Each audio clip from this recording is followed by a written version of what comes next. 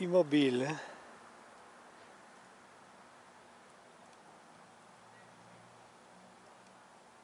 Ça ne bouge pas d'un poil.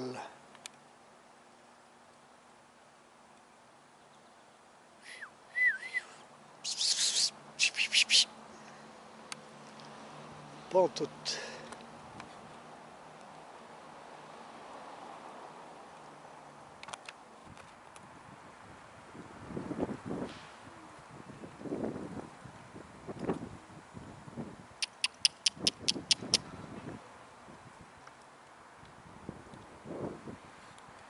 C'est là qu'elle rentre?